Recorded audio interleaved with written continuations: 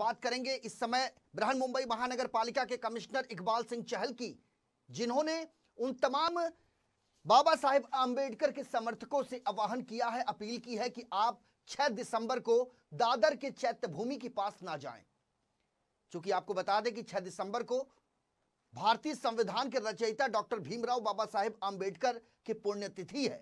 हर साल की तरह इस साल भी अंदेशा है बीएमसी कमिश्नर को कि बड़ी संख्या में लोग जुटेंगे चैत्य भूमि पर, लेकिन कोविड महामारी के चलते लोगों का आना बेहद खतरनाक साबित हो सकता है।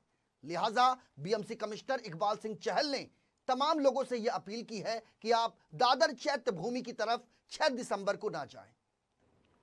नमस्कार। भारतीय संविधान के निर्माता, परम पूजनीय भारत रत्ना डॉक्टर बाबा साहब अंबेडकर सही मायने में युग पुरुष थे।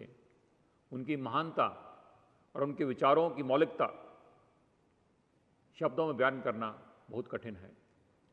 पिछड़े वर्ग की उन्नति के लिए उन्होंने अपना पूरा जीवन समर्पित कर दिया। डॉक्टर बाबा साहब अंबेडकर के प्रति अपनी श्रद्धा व्यक्त करने के लिए, उन्हें नमन करने के लिए हर साल महापरिनिर्वाण दिवस, यानी 6 दिसंबर को लाखों अनुयायी मुंबई में, दादर में चैत्य भूमि पर आते हैं। परंतु इस वर्ष कोरोना संक्रमण के चलते हुए विश्व भर में लाखों लोगों की मृत्यु हो चुकी है। मुंबई में भी दस हज़ार से ऊपर लोगों की मृत्यु हो चुकी है। कोरोना का खतरा अभी भी कायम है। इसलिए मेरा अनुरोध है कि इस साल आप चैत्य भूमि पर ना आएँ। इस साल सरकार की ओर से मानवंदना प्रदान की जाएगी चैत्य भूमि पर, और हेलीकॉप्टर से चैत्य भूमि पर फूलों की बरसात की जाएगी।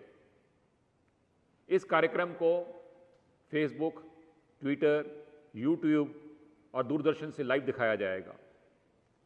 आप सब अपने अपने घर बैठकर कार्यक्रम देखकर, डॉक्टर बाबा साहब अंबेडकर को अभिवादन कर सकते हैं। मेरी आपसे प्रार्थना है कि इस वर्ष आप चैत्य भूमि पर ना आते हुए अपने घरों में बैठकर, डॉक्टर बाबा साहब अंबेडकर के प्रति अभिवादन कीजिए और मुंबई महानगर पालिका के साथ सहकार्य करिए।